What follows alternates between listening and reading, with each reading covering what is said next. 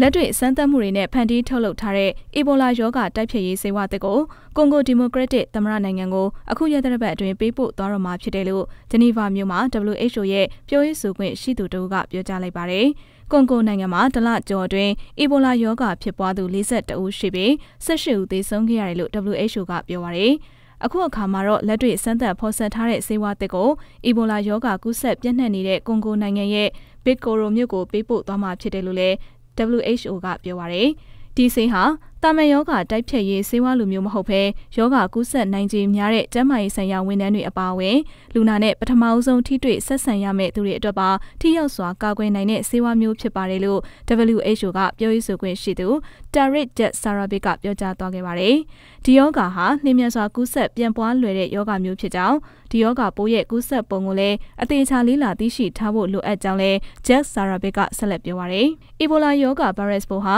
တော်ရိုင်းတရိတ်ဆန်တွေကနေတဆင့်လူတွေကိုကူးစက်လာခဲ့တဲ့ယောဂပိုးလည်းဖြစ်ပါတယ်။ဒီနောက်မှာတော့လူအချင်းချင်းကူးစက်တဲ့ယောဂပိုးအဖြစ်ကိုရောက်ရှိလာခဲ့ပါတယ်။ဒီယောဂဟာ2023ခုနှစ်နှစ်ကုန်ပိုင်းလောက်မှာဂီနီနဲ့လိုက်ဘေးရီးယားနိုင်ငံတို့မှာအကြီးအကျယ်ဖြစ်ပွားခဲ့ပြီးလူပေါင်း1000ကျော်သေဆုံးခဲ့ရတယ်လို့သိရပါတယ်။